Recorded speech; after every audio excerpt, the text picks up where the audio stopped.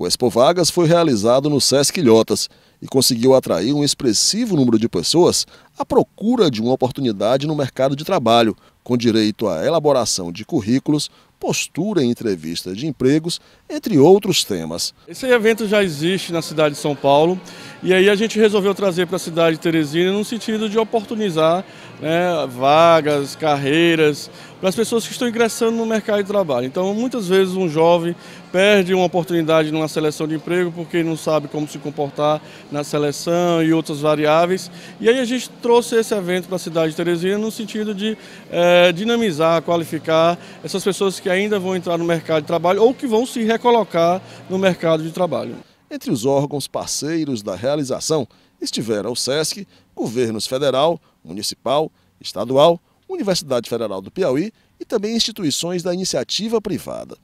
Maria é aluna do curso de especialização e gestão de estratégia em pesquisa da UFP. Ela participou do Expo Vagas, ajudando interessados em uma boa elaboração de currículos. O currículo deve ter os dados pessoais, é, contendo o seu endereço, as, é, estado civil, a sua idade, é interessante que tenha no currículo, telefones que estejam funcionando ativamente, foto é opcional, você coloca ou não, não é obrigado, a obrigatoriedade da foto.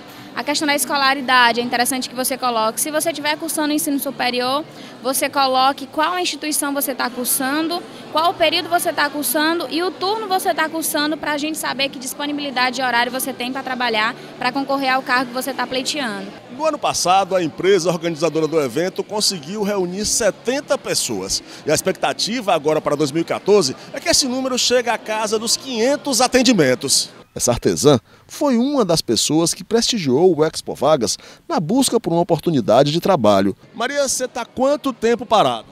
Três anos. Antes você atuou no mercado de trabalho em quê? É, televendas.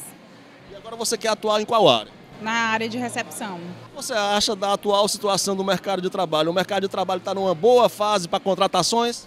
Tá, para mim, na minha opinião, ele está numa boa fase.